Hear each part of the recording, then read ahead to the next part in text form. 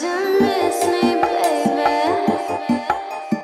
so in today's video, I'm going to show you guys how I get my natural everyday smoky situation going on. This look is so natural and nice, and it gives you not too much drama, but enough where it's like, damn girl, like you have me shook. So if you guys want to continue to watch this and see how I achieve this look, go right ahead. And for the first time ever, I actually show how I do my eyebrows on camera, but it's in a specific tutorial, which is going to be linked down below, and it's just my eyebrows, because I want to be able to go really in depth depth with you guys on how I did that. So if you guys like this video, don't forget to comment, like, and subscribe. And let's get right on to this tutorial. Bye! To start out this eyeshadow look, as a transition color, I'm going to use my Kat Von D Hansel and Gretel blush. I'm going to take the darker two of those colors and I'm going to put that around my crease area. Now I'm going to really build up this color, so this is probably going to take you a minute or two because I took a very long time to really build up this color.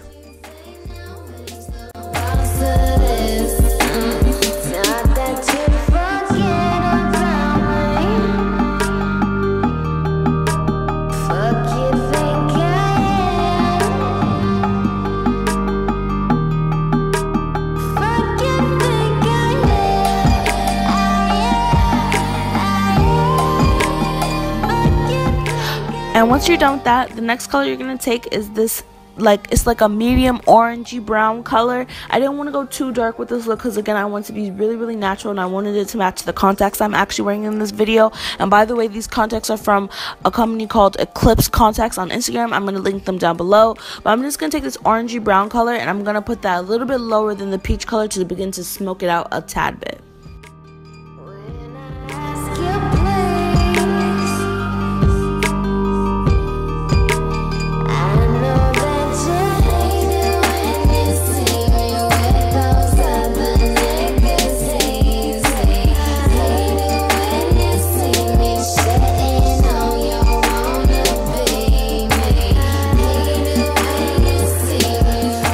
And I'm just going to take the darkest color in that contour palette and I'm only going to use it a smidge because I really didn't want it to be that smoky. So now as a lid color, I'm going to just take my Morphe 35N palette and I'm going to take that orange color you see me pointing to. Again, I want to use something very nice and neutral and I really want to stay away from any shimmers or any glitters because most of my tutorials do contain those.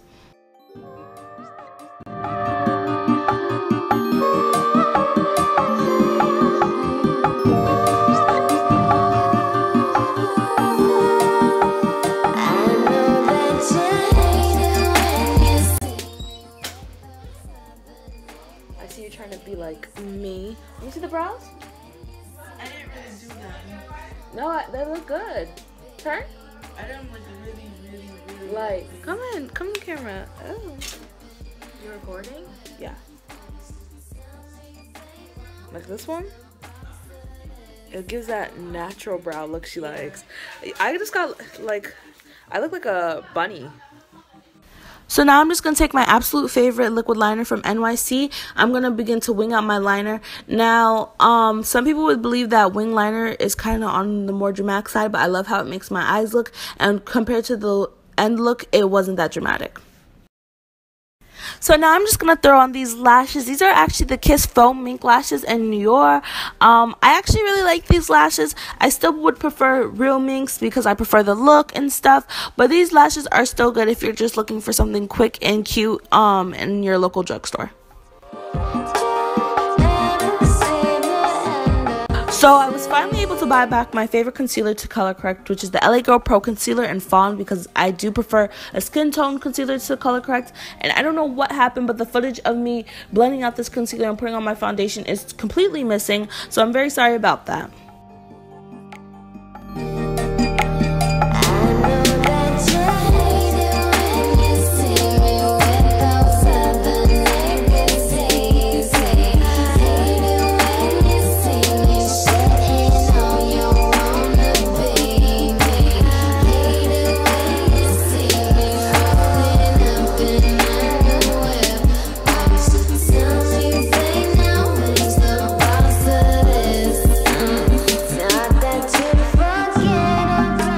So now I'm just going to begin to highlight. Now to highlight, I like to put on Fawn first, and then I like to put Cool Tan a little bit underneath that when I'm going for a more natural look because it's a natural day. You don't want the highlight to be too dramatic.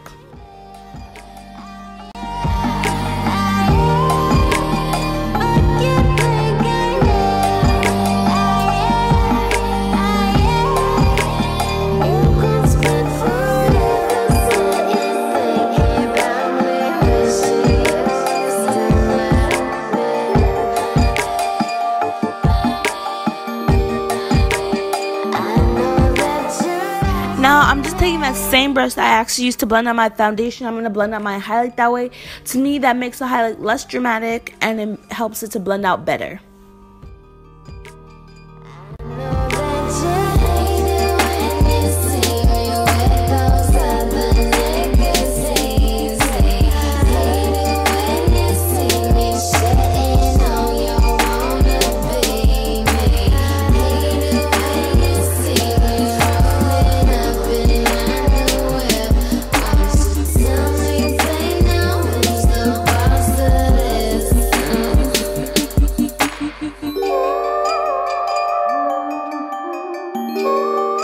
Now I set my highlight immediately because I have a very creasy under eye as you can see. So I don't want my eyes to start creasing and for me to have to touch it up. And then right after that I'm going to go in with this powder contour because I don't feel like cream contouring. After I have to set my um, highlight and I'm going to go ahead and contour.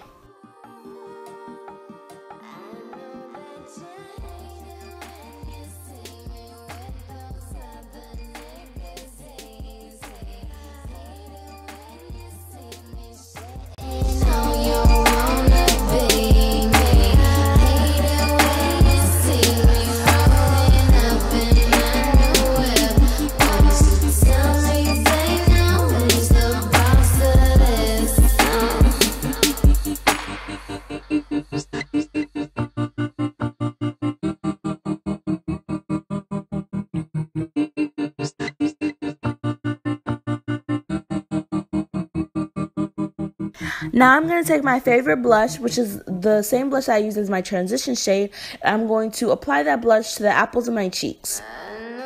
I'm going to take my absolute favorite highlight of like all time, which is the ColourPop by Wisp. It's a cream highlight, so it applies like skin. And I'm gonna put that in the inner corners of my eye. I'm gonna put that underneath my eyebrow, and I'm gonna also highlight my skin with this.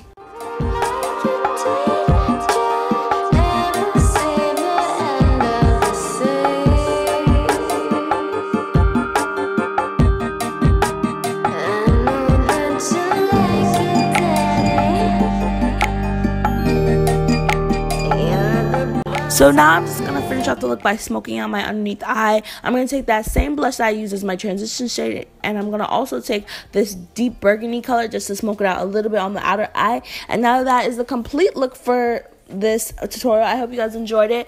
Bye. Can't wait to see you guys again next time.